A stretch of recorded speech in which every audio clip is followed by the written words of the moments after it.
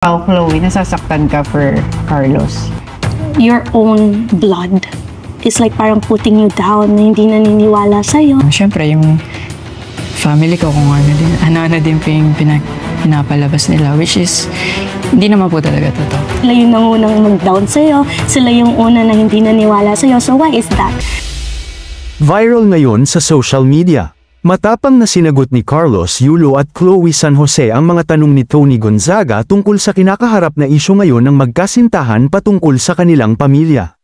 Ngayong araw September 22, 2022. Sa pahayag ni Carlos inamin niya na nagkamali siya at gusto niya lang umano na ipaglaban ang relasyon nila ni Chloe at napatawad niya na rin umano ang kanyang pamilya. Dito ay inihayag niya na mag-focus muna siya sa kanyang trabaho at sa kanyang relasyon. Basta ako alam ko po sa sarili ko na napatawad ko na sila.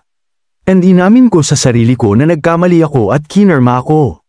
Kasi mali nga naman na sagutin mo sila ng ganon. Na syempre emosyonal na ako noon. Gusto mong ipaglaban yung sarili mo and yung relationship nyo. Alam ko kung ano yung mali ko. At tinanggap ko yun at pinagdasal ko yun kay Lord.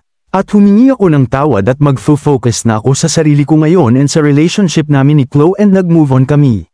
At the same time binigyan ako ni Lord ng mga taong totoong nagmamahal sa akin at totoong susuportahan ako na kahit matalo manalo.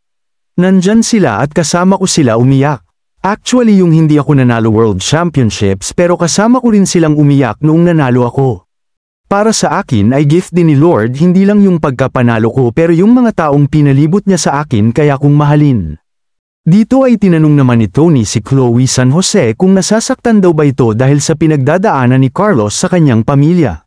Saad ni Chloe, nasasaktan umano siya dahil nangyari na din umano sa sarili niya at alam niya umano ang pakiramdam na sarili niya umanong dugo. Na sarili niya umanong dugo ay ang hihila sa kanya pababa at hindi naniniwala kay Carlos.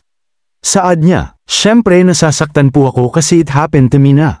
I know how it feels like na your own blood is like parang putting you down, na hindi naniniwala sa'yo na. Yeah, family first, pero family first should be the first one also, na sinusuportahan ka at prinoprotektahan ka.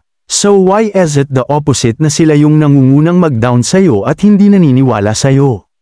Pahayag naman ni Carlos dahil sa kanyang relationship ngayon nagkakaroon umano siya ng peace at motivation para sa kanyang trabaho. Dahil si Chloe umano ang mga dahilan kaya mas napakapit umano siya sa Panginoon at nakilala ang sarili niya. Inihayag din ni Carlos na gusto niya ng magkaanak. Tila kapansin-pansin naman na tila limitado naman ang mga binibigay na impormasyon ni Carlos dahil marami umanong sinasabi ang kanyang pamilya patungkol sa kanya na hindi naman umano totoo.